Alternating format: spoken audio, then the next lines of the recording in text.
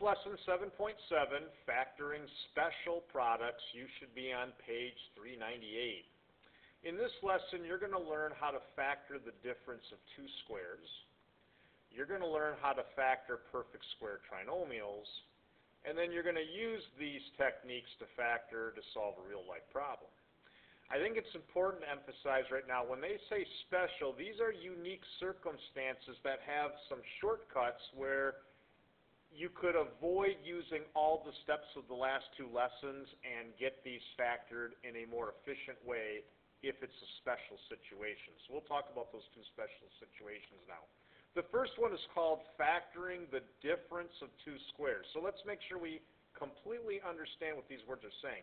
Factoring means we could take this and write it in this way, you know, two binomials factored.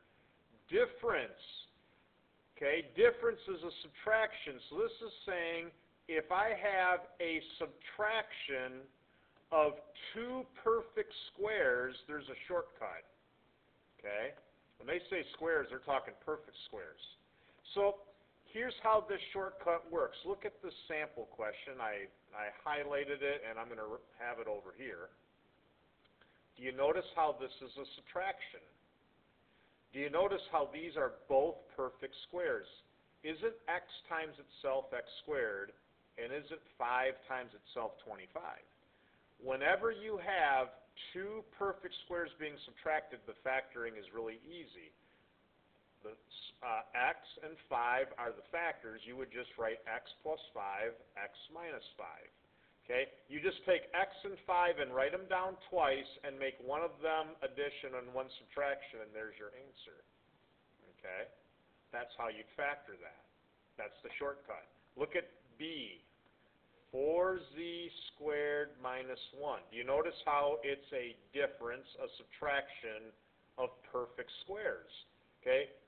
2z times itself gets you 4z squared, and 1 times 1 is 1.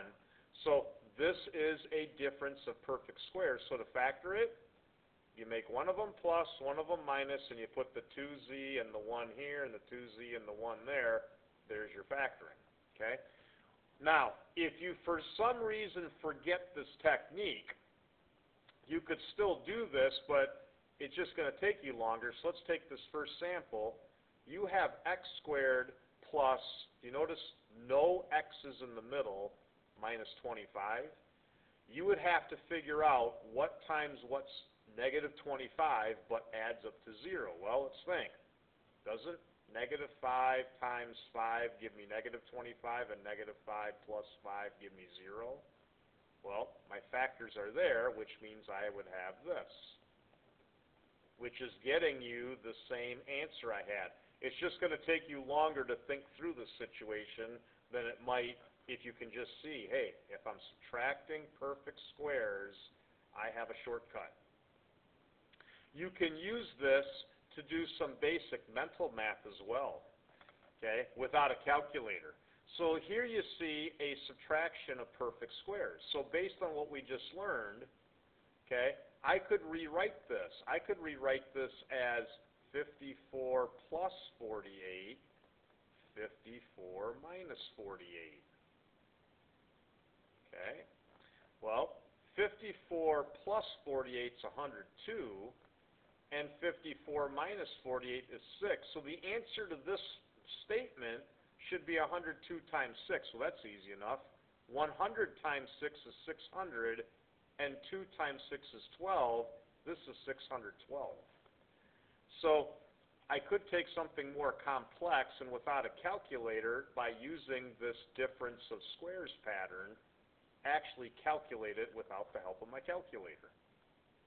Why don't you pause the video and try to factor each of these polynomials and special products using the difference of squares pattern. Go ahead and do that. I highlighted the responses to each. Um, be careful in number two it's easy to write that, but remember, when you write polynomials, you want to write them in descending order of degree. And if you write it like this, I wouldn't give you zero for it, but you did not write it in descending order of degree. we would have to factor the negative out here and rearrange this. This would actually be an A answer, okay? I'd give that a C answer. If you want an A, you'd have to have that. If you have questions on the rest, make sure you ask in class. I try to show a little bit here. It's just using the difference of squares pattern on each. There is one other unique pattern that you might come across. It's called the perfect square trinomial pattern. So again, when you read the word factoring, factoring means we're going to take that statement and we're going to factor. We're going to create two binomials. Perfect square? They're saying if you look and you see that the first term and the last term are perfect squares, there could be a shortcut. So let's check. Is n squared a perfect square? And I'm thinking, yeah, n times n gets me n squared, so I'm just going to put an n here. And 16 is a perfect square. 4 and 4 times 4 is 16. Now, look at the middle term. If you can multiply these together and then double and get that, it's a perfect square trinomial pattern. So let's check. Um, 4 times n is 4n, and if I double 4n, I get 8n, which is the middle. So here's the answer to this. You take n and 4,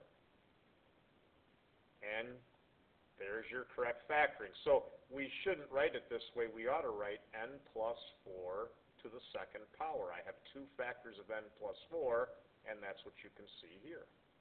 Okay? Let's try this one.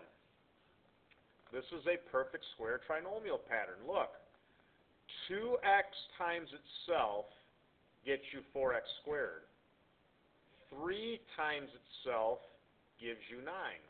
Now multiply those two together, you get 6x. If you double 6x, do you get 12x? And yes, you do. Now, some of you might be like, well, there's a negative in front. That's okay. I'll get to that in a minute. So to write this out, I would write 2x and 3, 2x and 3. Now you remember in the last problem we had a positive here, so I had positives. Here I have a negative, so put minuses. So the answer to this factored is 2x minus 3 to the second power. Okay? These are perfect square trinomial patterns. Now these little shortcuts only work, let me color code, if you look here and here, the A and C values must both be perfect squares for this to work. If, if they are not perfect squares, then you're going to have to use the Brooklyn method from the last lesson. Let's look at one more. Now, when I, when I, I prepared for my video, they decided to multiply each side by 9. Like, I wouldn't have done that for this reason. Look carefully. That's a perfect square, x times itself. One ninth is a perfect square. Think about it. One third times one third is one ninth. And now let's check. If I multiply these together, and then I double it, one third x doubled is two thirds x which you see in the middle. So the correct factoring here is to take x and one-third and write x plus one-third, x plus one-third, which means I have x plus one-third squared. And this equals 0. Well, to solve this, this has to work out to 0, which means x would have to be negative one-third because negative one-third plus one-third is 0. So there's my answer. Okay? What I'd like you to do is try these six questions for yourself. So the first three are going to just ask you to factor. The second, you need to factor and then solve. So pause the video and try those. And again, I'm back. So questions 9, 10, and 11 are all perfect square trinomials. Now, number 11, I should show a little bit more work. You got to be careful. Do you notice in number 11, let me color code, that before we start factoring that all of these have a common factor. I can definitely divide all those by 9, so I should do that. So let me factor out the 9. So if I divide everything by 9, I get z squared plus 4z plus 4. Now here's the next thing. Aren't those both perfect squares? And yeah, they are. Z times itself gets you z squared, and two times itself gives you four. Now, if you multiply those and double, do you get four z in? Yeah, I do. Two z doubled is four z. So that's why I have z and two added together squared. There's the correct factoring with that nine out front, okay? If you have questions on any of these, make sure you ask, uh, another thing, fourteen, do you notice? That's a difference of squares pattern. All of the rest were perfect square trinomial patterns. So, um, one more thing I ought to mention with the perfect square trinomial pattern. Let's take number, uh, let's take number ten. Suppose you forgot the pattern, does that mean you're out of luck? Mm, Not necessarily. You could do it the way you learned in the last two lessons. So, instead of having a shortcut, I would have to think, what times what gives me twenty-five? Those same two numbers have to add up to negative ten. So, uh, negative five times negative five is twenty-five, and negative five plus negative five gives me negative ten. So my factoring would be that, which is going to get me the same thing that I had here. It's just gonna take me longer. I don't know the shortcut. Okay, so it's nice to know these special cases. Final question our final things. We can use this technique now when we solve real life problems and we find that in my real life problem I have a difference of squares or a perfect square trinomial. So a bird picks up a golf ball and drops it while flying. The function represents the height of the golf ball t seconds after it's dropped. You can see, here's the function. Okay, they wrote it out the ball hits the top of a 32-foot tall pine tree. So that means y is 32. So let me plug that in. After how many seconds does the ball hit the, hit the tee? I got to find, I got to find, or after how many seconds the ball hit the tree? Um, I got to find t. Okay, so first thing we need to do is get everything on one side, zero on the other. So let's take away the 32. And when I do that, I get 0 equals 49 minus 16t squared, which you see right here. Uh, do you notice 49 is a perfect square? 16t, let's quickly say it. 49, 7 and 7 is 49. 16t squared, isn't 4t times itself 16t squared? And I have a subtraction. This is a difference of squares.